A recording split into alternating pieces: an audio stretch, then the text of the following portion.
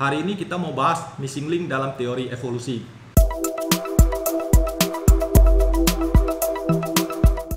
Apakah yang dimaksud dengan missing link yang ada di dalam teori evolusi? Mau tahu? Silakan ikutin video berikut ini.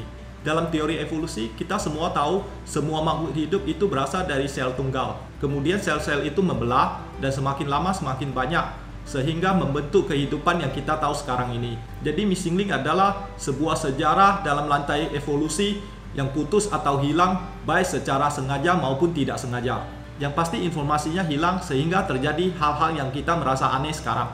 Jadi sekarang kita lihat beberapa contoh missing link yang ada dan kita bisa menilai sendiri apakah itu aneh atau tidak. Tapi sebelum kita mulai, kita harus tahu dulu teori evolusi itu apa. Walaupun mungkin sudah banyak yang tahu ya. Yang dimaksud dengan evolusi itu adalah perubahan makhluk hidup untuk menyesuaikan diri terhadap lingkungan. Evolusi itu lambat tapi pasti. Mungkin bisa memakan waktu berjuta-juta tahun hingga beratus-ratus juta tahun lamanya. Intinya begitu ya, semua makhluk hidup itu terus berevolusi kita semua sekarang juga sedang berevolusi. Mungkin di antara kawan-kawan sekalian pernah dengar satu pernyataan dari para ahli. Mereka memprediksi manusia masa depan akan berevolusi seperti apa bentuknya. Katanya begini ya, karena teknologi semakin lama semakin maju, kita sekarang ke mana aja sudah pakai motor atau mobil. Apalagi masa depan, mungkin kita sudah nggak pernah pakai kaki lagi. Karena kaki kita semakin lama semakin jarang dipakai, jadi ke depan otot kaki kita akan semakin lama semakin mengecil. Jadi otomatis kaki kita akan semakin lama semakin kecil. Tangan kita juga begini, karena sekarang sudah semakin lama semakin banyak alat yang diciptakan untuk meringankan pekerjaan kita. Jadi otomatis otot tangan kita semakin lama akan semakin jarang dipakai. Jadi ke depan tangan kita akan semakin lama semakin mengecil. Sebaliknya karena otak manusia semakin pintar, maka kepala manusia akan berevolusi menjadi semakin besar maka hasilnya akan menjadi begini. Mungkin ada yang tidak bisa terima. Kenapa kita bisa menjadi seperti alien? Sebenarnya bentuk alien itu adalah pemikiran para ahli untuk manusia masa depan dengan melihat kondisi sekarang ini. Jadi itu adalah pemikiran para ahli manusia masa depan akan menjadi seperti apa. Jadi sekarang kita kembali lagi ya. Jadi maksud dari teori evolusi itu adalah sesuatu yang semakin sering kita gunakan, maka itu akan terus berevolusi menjadi semakin bagus. Karena tujuannya adalah untuk kita bisa bertahan hidup. Contohnya otak manusia akan semakin berevolusi menjadi lebih bagus karena itu yang kita perlukan untuk bertahan hidup. Sebaliknya sesuatu yang jarang kita gunakan, maka dia tidak akan mengalami evolusi. Mungkin saja dia bisa menghilang. Contohnya manusia punya tulang ekor tapi tidak punya ekor. Mungkin saja zaman dulu manusia itu punya ekor karena tidak diperlukan lagi maka ekornya itu hilang. Oke, sampai di sini aja dulu penjelasan tentang evolusi. Jadi mungkin kita semua sudah paham ya sekarang. Jadi sekarang kita lihat apa yang disebut dengan missing link yang ada di dalam teori evolusi. Pertama kita lihat dulu ya contoh beberapa fosil serangga. Apakah ada yang merasa aneh dari fosil-fosil itu? Mungkin ada yang sudah sadar ya anehnya itu di mana. Yang namanya fosil itu kan sudah bisa berjuta-juta tahun, bahkan ada yang ratusan hingga miliaran tahun yang lalu. Tapi kenapa bentuk serangga yang di fosil itu sama persis seperti serangga yang ada sekarang ini? Rasanya serangga itu sama sekali tidak mengalami evolusi sama sekali. Apakah kita tidak merasa aneh? Padahal kalau menurut teori evolusi, kalau sudah lewat waktu yang sekian lama, harusnya pasti ada yang berbeda. Walaupun tidak terlalu banyak. Mungkin ada yang bilang serangga-serangga di fosil itu kan jauh lebih besar daripada serangga-serangga sekarang. Kalau masalah hal itu, seperti yang pernah saya ceritakan di video sebelumnya yang tentang raksasa. Kenapa makhluk hidup zaman dulu bisa lebih besar daripada sekarang? Jika ada yang tertarik, silakan lihat kembali video raksasa itu ya. Oke, kita kembali lagi.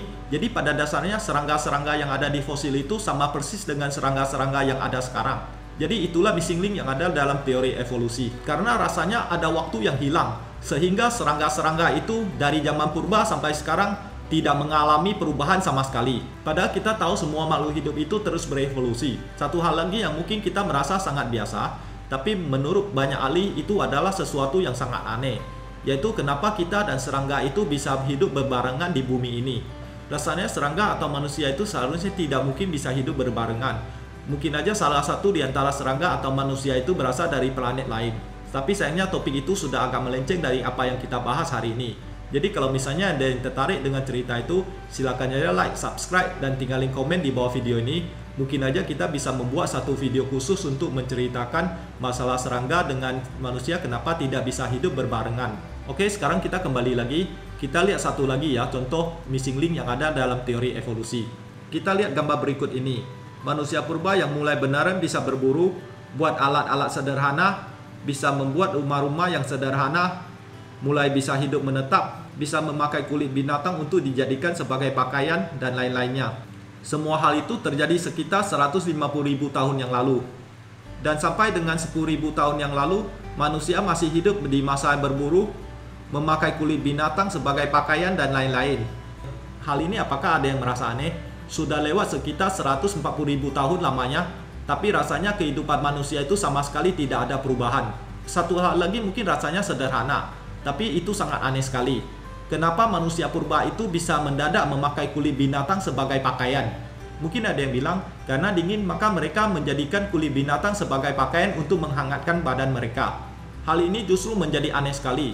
Apakah kita pernah lihat selain manusia ada makhluk hidup lain yang menjadikan kulit binatang lain dijadikan sebagai pakaian untuk menghangatkan badan mereka? Jadi dari hal tersebut kita bisa membuat beberapa kesimpulan. Pertama, otak manusia purba itu mulai berkembang, tapi sebaliknya bulu-bulu di badan mereka semakin lama semakin menipis. Bukti dari otak mereka mulai berkembang adalah ketika mereka kedinginan, mereka bisa memakai sesuatu untuk menghangatkan badan mereka. Kedua adalah misalnya bulu di badan mereka mulai menipis dan sebaliknya otak mereka tidak berkembang, apakah mereka semuanya akan mati kedinginan? Dan kita semua tidak akan ada di dunia ini. Ketiga adalah karena kondisi saat itu sangat dingin, seharusnya bulu di badan mereka itu akan semakin tebal karena mereka butuh bulu yang tebal untuk bertahan hidup pada saat itu. Tapi anehnya bulu di badan mereka itu semakin lama semakin tipis, padahal mereka perlu. Keempat adalah karena otak mereka sudah mulai berkembang, mereka bisa memakai baju, membuat banyak peralatan hingga rumah, dan anehnya adalah kenapa otak mereka rasanya mendadak berhenti selama 140.000 tahun lamanya. Hal yang aneh ini juga disebut sebagai missing link yang ada dalam teori evolusi. Mengenai hal ini, untuk menutupi missing link tersebut, maka ada beberapa pendapat dari para ilmuwan dan ahli. Yang pertama dari pendukung teori evolusi. Mereka mengatakan ada sebagian makhluk hidup mengalami suatu hal sehingga mereka mengalami evolusi mendadak untuk menyesuaikan diri terhadap lingkungan. Yang kedua, sebagian orang berpendapat Sebenarnya dari 150.000 tahun sampai sekarang peradaban manusia sudah mengalami enam kali punah. Setiap peradaban hanya bertahan sekitar 20.000 sampai 30.000 tahun saja. Dan alasan musnahnya ada bermacam-macam. Ada yang musnah karena perang, ada yang musnah karena bencana alam dan lain-lainnya. Pendukung dari teori ini rata-rata dari orang yang percaya bahwa benua Atlantis itu pernah ada di dunia ini. Dan Atlantis adalah peradaban yang musnah sebelum kita. Ketiga, ada lagi yang percaya manusia sekarang tidak ada hubungannya dengan manusia purba. Karena manusia sekarang sebenarnya adalah diciptakan oleh penciptanya. Teori ini selain dipercayai oleh para penganut agama, sebagian ahli juga percaya manusia sebenarnya ada penciptanya. Tapi pendapat para ahli sedikit berbeda, karena menurut mereka mungkin saja manusia diciptakan oleh alien, dan satu lagi yang percaya manusia diciptakan oleh alien adalah berasal dari peradaban terkuno dan tercanggih yang ditemukan oleh para ahli saat ini. Mereka adalah peradaban Sumeria. Peradaban ini pertama kali muncul sekitar 6000 tahun sebelum Masehi atau sekitar 8000 tahun yang lalu. Dewa mereka yang bernama Anunnaki yang mereka percaya sebagai alien dari luar angkasa. Mengenai soal Sumeria dan Anunnaki, nanti kita akan membuat satu video khusus untuk membahas itu. Jadi itu adalah beberapa penjelasan untuk missing link yang ada dalam teori evolusi. Oke, mungkin sampai di sini aja video kita hari ini tentang missing link yang ada dalam teori evolusi. Silakan tinggalin pesan di bawah video ini dan jika suka dengan video kita silakan like dan subscribe ya. Dan sampai ketemu lagi di video berikutnya. Bye.